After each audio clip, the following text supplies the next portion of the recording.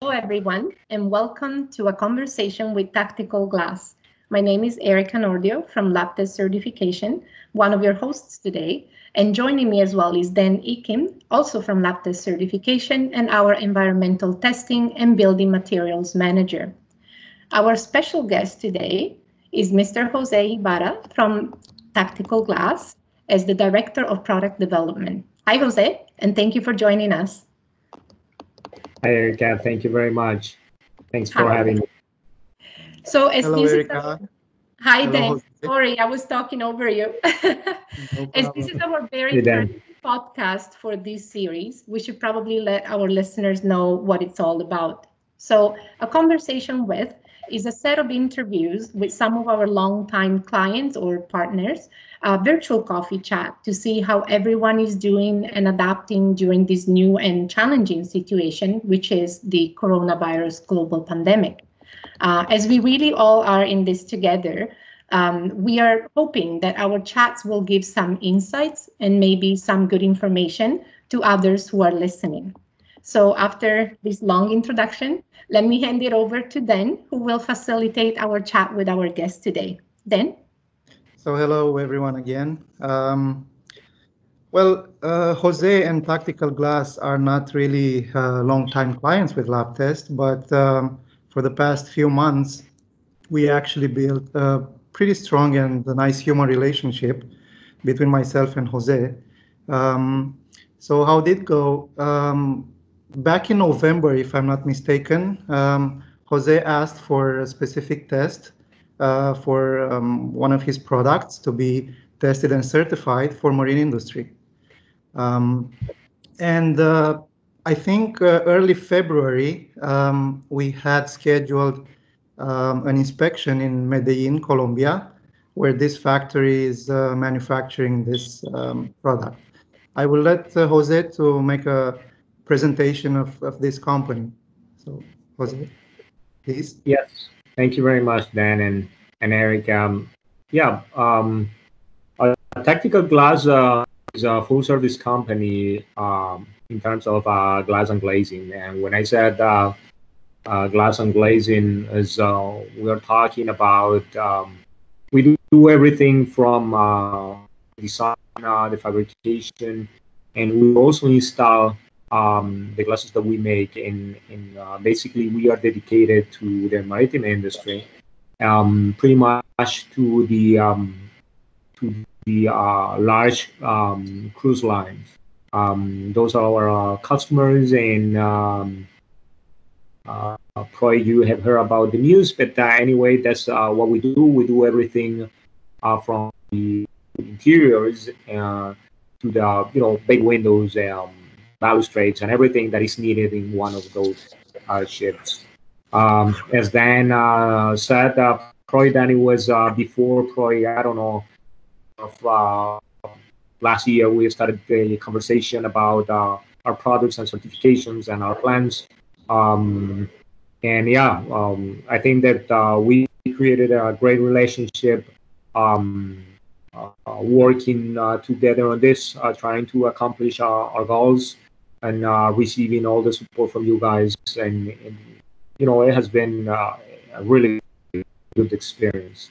Um, in the other hand, uh, uh as you already know, there are um, some other plans, uh, continue working with you in some other projects, uh, some other certifications, and um, seems to be um, that this has been just on hold because of the virus.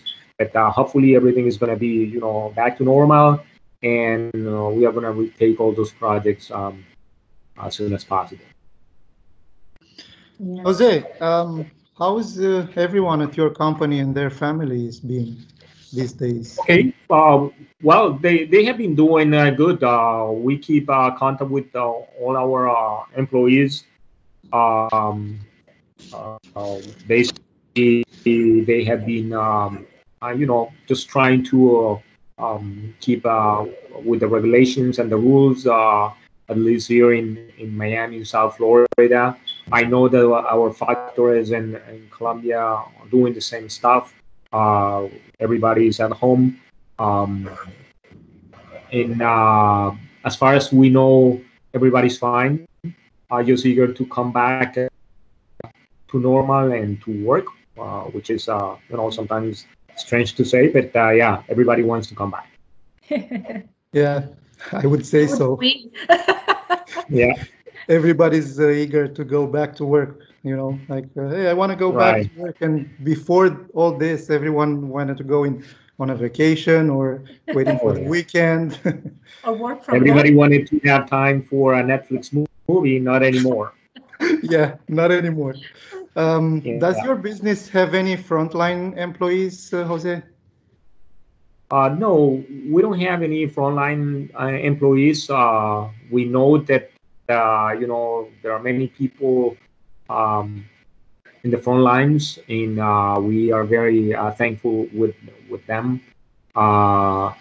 we are a factory, and I think that we are doing a good job, you know, but by keeping our people at home uh, by following the rules and regulations and just trying to, to wait until everything gets to normal. But uh, no, uh, it's a fortune for us uh, that we are not there. Um, is your business currently being impacted by COVID 19? And uh, if yes, was which I guess um, everybody is affected by this, how it is impacted? Yeah, um, you know that uh, we are in the maritime industry, and uh, probably you have heard the news. And uh, you know, basically, uh, the main uh, cruise lines are shut down. They are they are not sailing right now, right now. So those are our customers. Uh, since those are the people that we serve, and they are closed, it doesn't make any sense to us to be working on anything since that's our focus. So, um, uh, we are supporting them on anything that they need. Um, we have received a couple of um, probably requirements.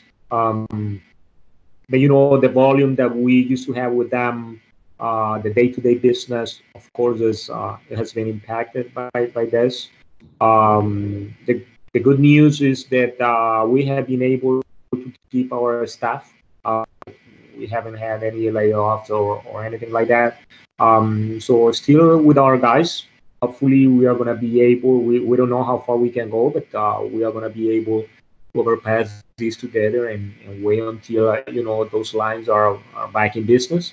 Um, but yeah, it's, it's, you know, it's difficult in these days uh, to say that you are not being impacted for, for this, for this uh, virus. So a lot for us uh, in terms of, uh, of course, revenue. Um, you know the um, inertia that we uh, uh brought uh, from the past. Uh, nothing to do about it. We just need to um, prepare and ho- hope for the best and and make sure that everybody's ready when things get back to normal. Yeah, for sure. Everybody uh, is impacted by this situation one way or the other. Um, what measures has your business taken due to ensure safety of both staff and clients during COVID 19? Well, as I, as I said, we are pretty much um, shut down. So uh, we didn't implement anything yet, uh, but we for sure are, are working on this. We have been having, uh, you know, some meetings with uh, upper management and um, making sure that uh, when uh, our guys come back, uh, uh, we know how to do it. As, uh, of course, we know that you know the gloves and, and the masks and everything is part of our gear. In that there is going to be a new way to to work.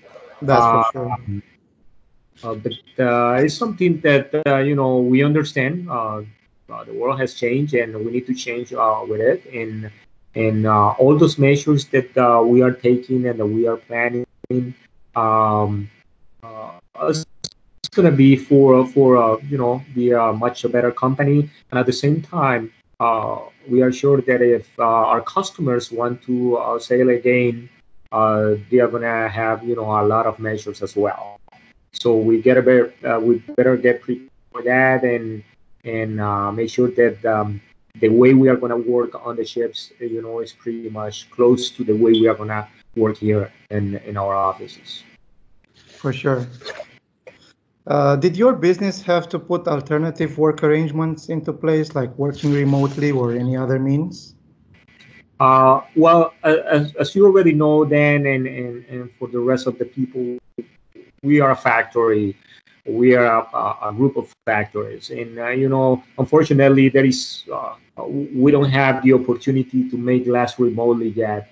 Um, so nice, right? that would be nice. That would be, you know, that would be the new way to to to work. But no, not yet.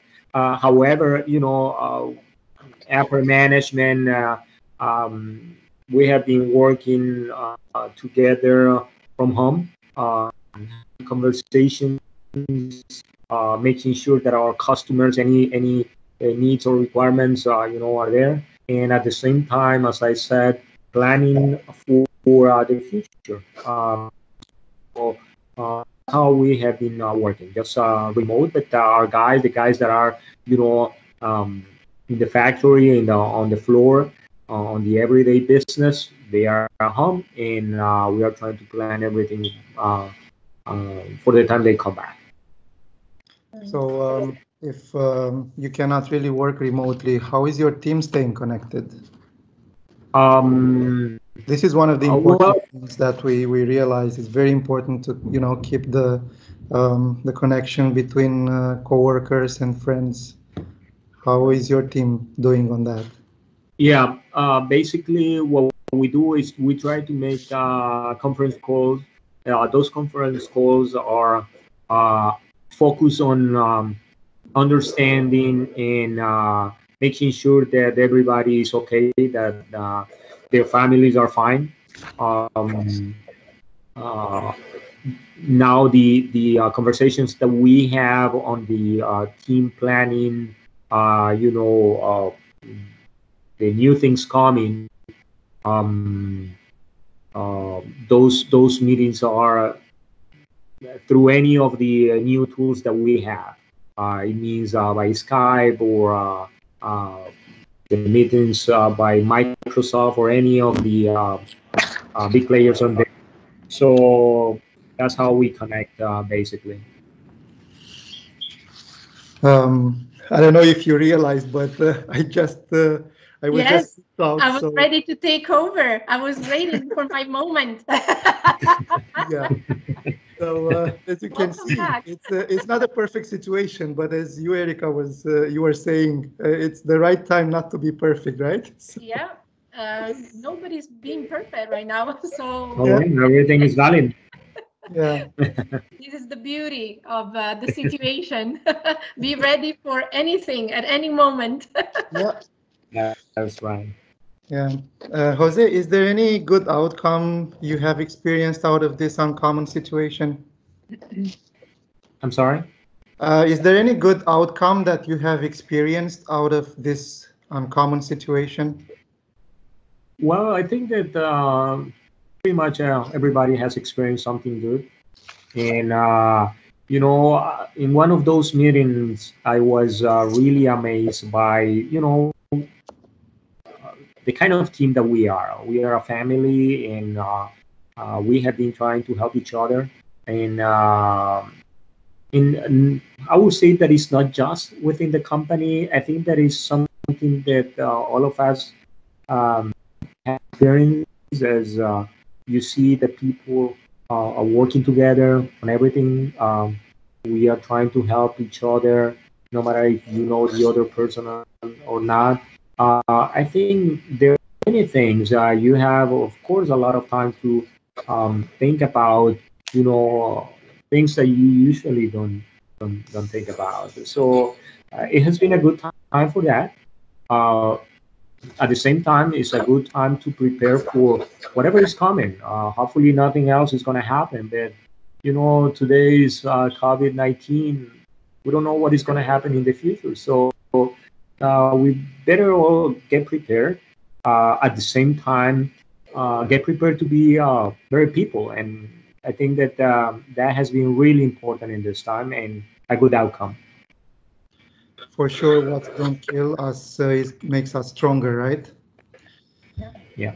Um, do you foresee any of uh, the changes that uh, your business had to make during COVID-19 continuing continuing after all this is over? Because maybe they turn out to be a better way of doing business. Well, yeah, uh, I think that uh, uh, what is going to happen is that whatever we implement for uh, this specific situation is going to stay. Uh, I don't think that uh, that we need to think about this just as something that we need to, you know, just comply with some rules and regulations. I think that this is something that we need to take as part of our lives uh, as I said, probably get uh, better prepared for whatever is coming. And um, yeah, I see that those things are going to be and are going to stay for a long time. Uh, some of them are not bad. I mean, if we find um, that this is a much better way to work, meaning uh, it's going to be safer, it's going to be healthier for some reason, uh, uh, it's something that we need to keep. Why not to? You know so i think as as um, something good is, is going to come out of uh, this and um, at the same time i am a strong believer that uh, these things are going to stay and some of the um, rules and in in new things that we do uh, for sure Thank you very much, Jose. Um, is there anything wow. else you want to add or you want to ask? Or um, Erica, what about you? No, I was going to say as we're you know coming to the end of this, um, if I don't know, Jose, if there was anything else that you would like to add, or maybe some advice for other businesses like yours out there. Well, I think that uh, you know there are so many people uh, when you turn on the TV, when you check your your social networks and everything, you know, just advising stuff. So I think that uh, uh, I don't need to give more advice to anybody else. we are plenty of that. Uh, but uh, no, just to say that um, uh, I understand that uh, probably everybody is um, on the same ship. however, you know, all of us need to uh, live with uh, what we have in front. And uh, hopefully, whatever we do today is going to be, you know, for the good of everybody. And mm-hmm. you know, it's, it's, it's not good to have something like this virus. Um, but if you know, at the end, this makes us better people and uh, better co-workers and you know much better relationships uh, for that. That's very true. Very yes. true. So, um, for the listeners, if anybody you know was intrigued by what Tactical Glass does and they would like to get in touch with you, how could they contact you? Uh, I couldn't. I couldn't hear sorry. you. I'm sorry. Uh, yeah, I was saying if listeners, uh, if anybody was intrigued by what Tactical Glass does and they would like to reach out to you, how could they contact you? Sure, they can contact me. Um, I don't know if you want me to give the, the, the contacts or you are going to have it, but uh, they can contact me. I am at the Miami office, uh, phone number 304-624-2448. Um, you can contact me also to my email, jose uh, tacticalglass at gmail.com. And uh, anytime. You can find us also at www.tacticalglass.com. Um, you know, this is the right time to contact us. We we are plenty of time, so uh, whatever you want to interview me again, uh, you know, I'm more available. There you go. We will also make sure that we'll have um, your contact information uh, on our videos. So if in case, you know, maybe the audio was coming and going, that everybody has the right information. Well, I think we're at the end of this. Um, we, we can't thank you enough for your time and doing this thank with you. us uh, and bearing with us. It is the first time, so we're all learning. Um, we hope mm-hmm. that um, people listening, um, you know, could get some uh, good things out of this. And um, if nothing else, to realize that we're all in this together. Um, there, it's not just one or two or even a hundred of us. It's it's really all of us. So uh, we hope that that's the message that went out, and they could, um, you know, uh, get some benefits out of listening to us today. So again, Jose, thank you very much. It was really thank nice to spend this time with you. Thank you very much for your time, Jose. Thank you, Erica. Thank you, Dan. Take care. Bye-bye. Bye-bye. Bye.